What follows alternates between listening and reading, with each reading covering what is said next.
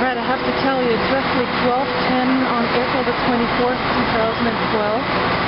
I'm here in the train station of Tours, about two hours south of Paris. I'm about to head on the train, and for the first time in my life, I'm excited to say, I'm getting on the high-speed train, the TGV to Paris, Montparnasse at 12.38,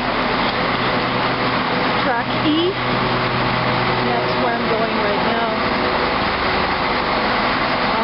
like deep